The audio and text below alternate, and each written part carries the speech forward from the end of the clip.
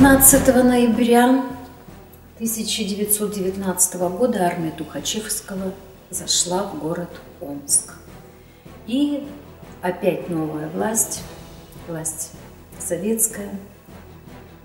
Надо сказать, что после Колчака нам осталось такое наследие, что железнодорожный транспорт пришел в полную негодность, разрушен был речной транспорт – и я уже говорила о том, что очень много было преступников у нас в городе Омске. И для того, чтобы бороться с этой ордой преступников, у нас сразу уже 19, 17 ноября были образованы, вот здесь есть справка, городское отделение милиции, 7 районных отделений милиции и уголовный розыск.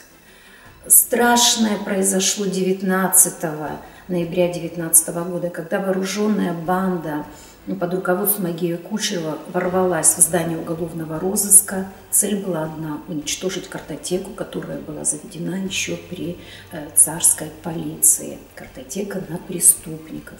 Те сотрудники, которые присутствовали в этот момент, были расстреляны. Когда подоспели части Красной Армии, преступники ушли, забрав с собой двух сотрудников, которых потом расстреляны нашли на реке Омка.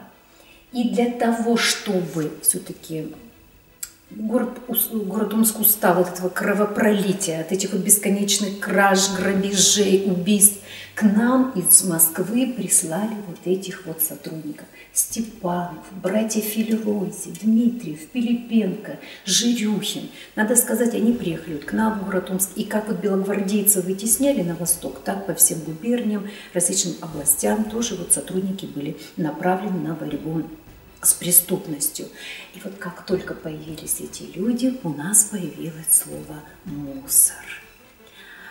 Мне интересная история этого слова. Дело в том, что раньше назывался эти сотрудники раз из Москвы Московский уголовный сыск. То есть сыскная была полиция, говорила Путилин, ее прозвал сыскная полиция, значит Московский уголовный сыск. Сокращенно это МУС.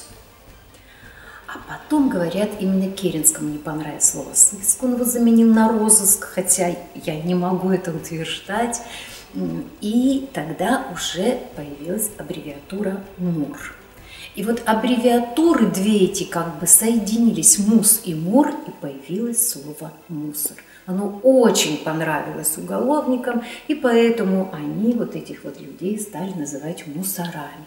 И вот сейчас порой люди таким негативным оттенком, да, называют там тех же патрульно-постовую службу, да, тех же сотрудников ГАИ. Надо сказать, это в корне неправильно даже с позиции уголовников, да, потому что все-таки э, вот эти вот мусора, это те люди, которые каждый день рискуют, смотрят э, дуло пистолета, э, имеют с трупами дело. Ну, то есть это те люди, при которых, конечно, нужно только преклониться, склонить колени. И вот, кстати, вот эти вот люди в Филерозе стояли и у истоков образования второй в стране школе подготовки среднего комсостава и сотрудников уголовного розыска, то есть нашей академии Омской, да, они там даже читали лекции, порой они возмущались, у нас так много работы, э, много преступлений не раскрытых, а вот они как бы еще и занимались ликбезом. Вот, надо сказать, что в основном сотрудники были малограмотны, некоторые даже не умели читать, не хватало одежды, не хватало оружия. И поэтому у нас есть документы, когда изымают оружие у преступников и тут же их передают сотрудникам уголовного розыска, другим милиционерам, ну, для того, чтобы хоть как-то вооружить милицию.